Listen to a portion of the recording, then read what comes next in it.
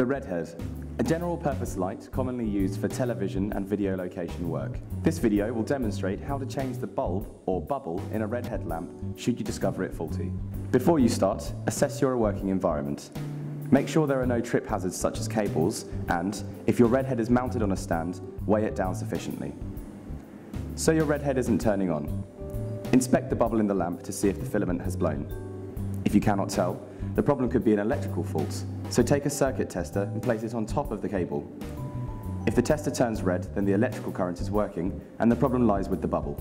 Flick the power switch to off and remove the plug from the wall socket. Allow at least 10 minutes for the lamp to cool down, or if you do not have time, use thick, heat-resistant gloves. Once the lamp has cooled, or you have your gloves on, close the barn doors and unscrew them.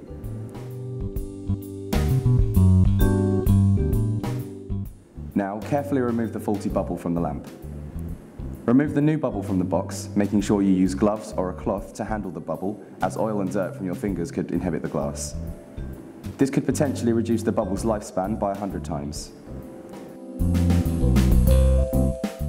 Carefully install the new bubble into the lamp. Reattach the barn doors, making sure they are securely screwed on.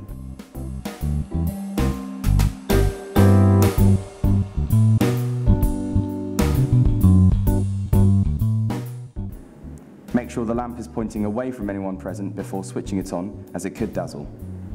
Reconnect the power.